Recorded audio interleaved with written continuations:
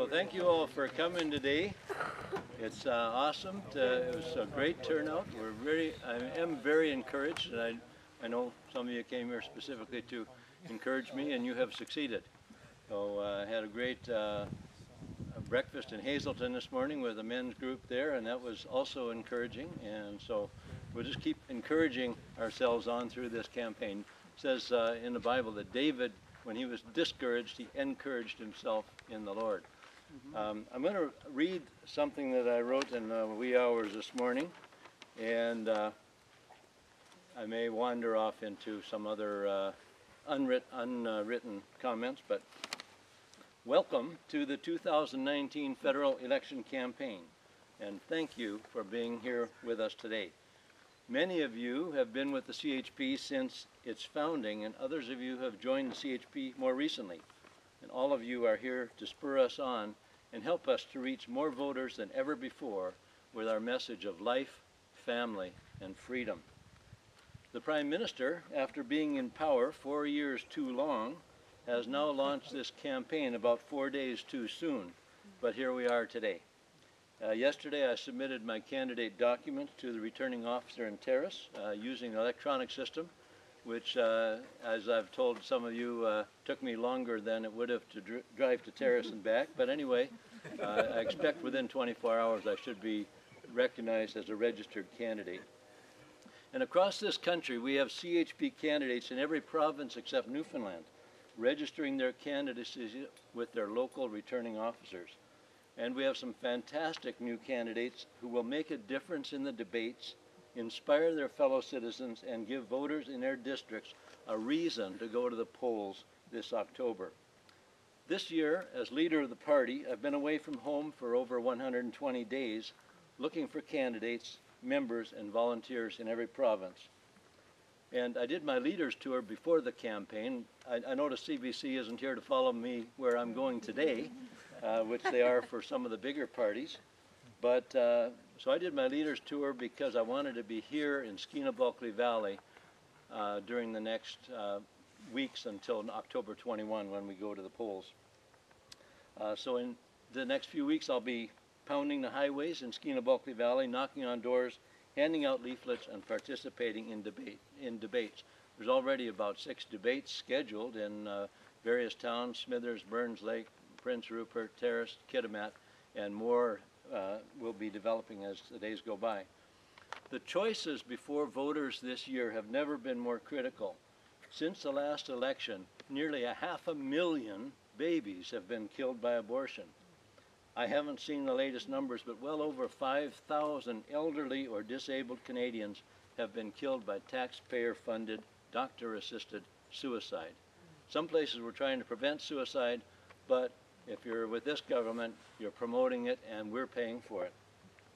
Schools in every province, and certainly in BC, have become centers for the indoctrination of children in regards to gender and sexuality, and the rights of parents to raise their own children according to their beliefs in regards to morality and gender have come under attack.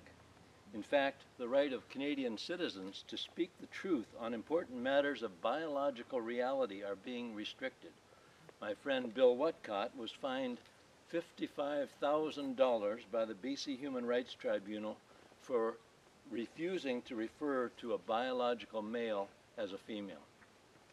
So he's under attack for speaking obvious truth. Canada's debt has risen to nearly $700 billion. That's 700,000 million. uh, the daily interest paid by Canadian taxpayers each and every day is more than $70 million. We can blame the current Prime Minister, who has been running across the country trying to buy votes with your grandchildren's money, and he deserves blame. But the problem of runaway deficits and debts did not begin with him. the Conservatives, under Stephen Harper, added over $144 billion uh, to the national debt during their nine years in office. If and when interest rates go up again, they're at historic lows now, it will become even harder to see the light at the end of the tunnel. And even now, we know that your children and your grandchildren will be paying throughout their lives for the wild spending of both liberal and conservative governments, and if the NDP and the Greens ever, ever get to uh, hold of power, Katie bar the door. The fixation of this government with CO2, a beneficial natural gas that plant life depends upon, has led to a national carbon tax, which is not fixing the environment, it's just draining your, your wallet and being spent on crazy government programs. the government's ideas about open borders has led to an increase of illegal border crossings and masses of unvetted refugees who simply have to walk across Canada's border to become recipients of involuntary taxpayer support. Meanwhile, our current immigration minister, Ahmed Hussein, who happens to be a Muslim, has issued orders for deportation, not for ISIS fighters, not for terrorists, not for criminals, but for a hard-working Christian family who are likely to face death and persecution in Nigeria.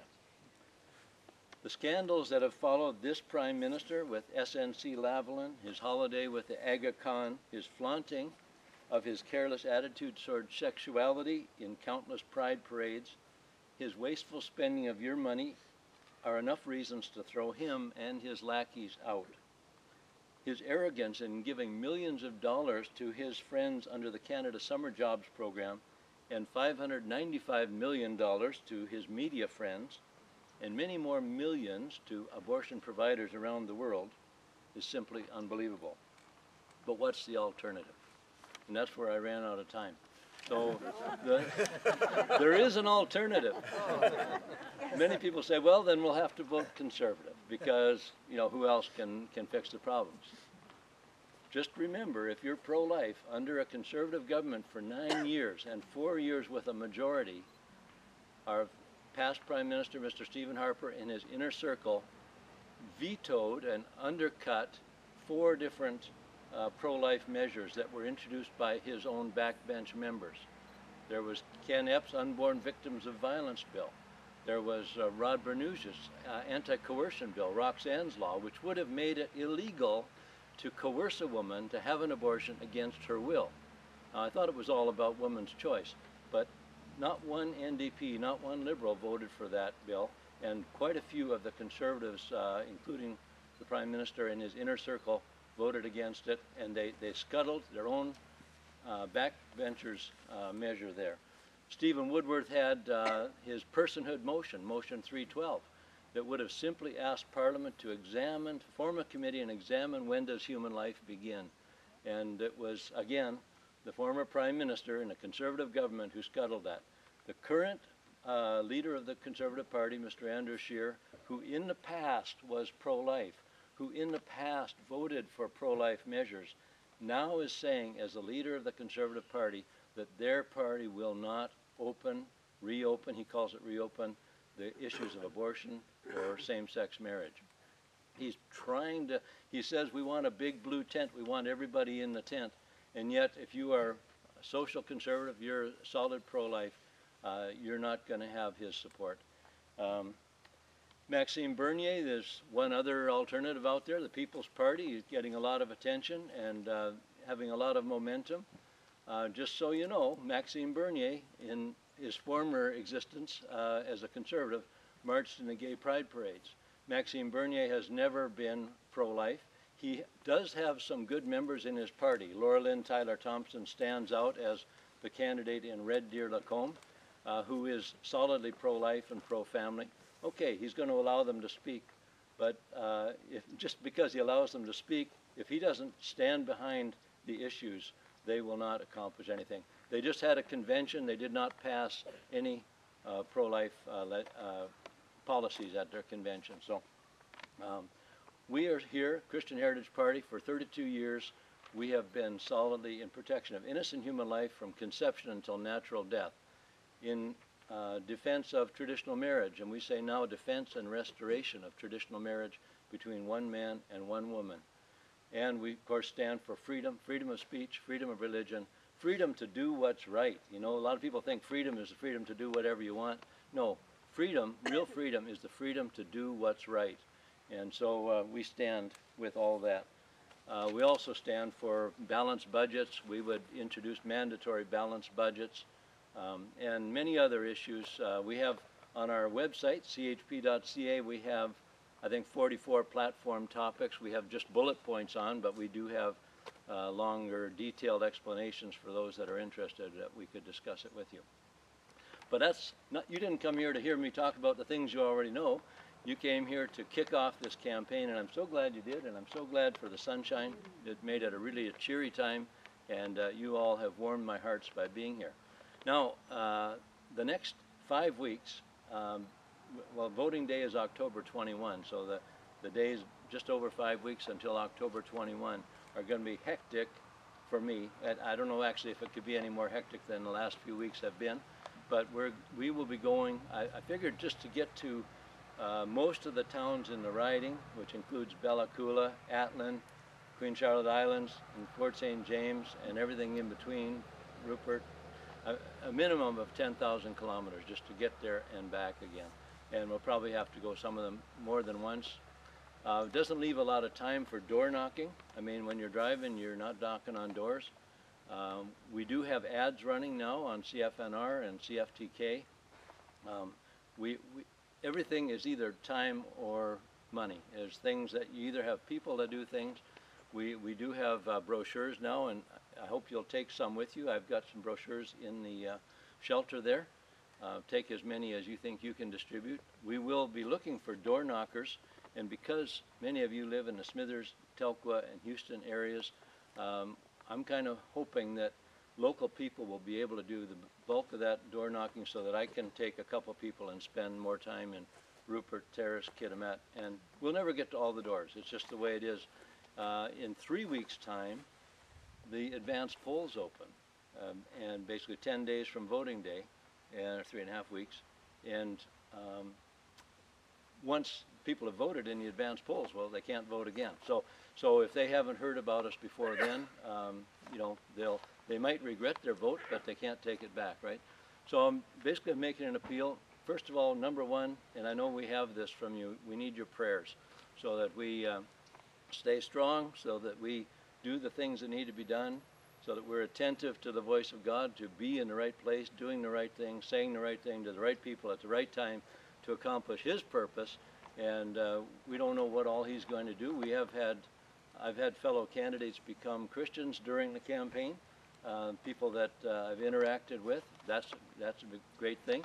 It'd be wonderful if our current MP, our current MLA, and the candidates would also become Christians, pro-life, and all that. But in the meantime, we're going to try to win the seat so that we can bring life, family, and freedom to Ottawa for representing the members of Skeena Bulkley Valley.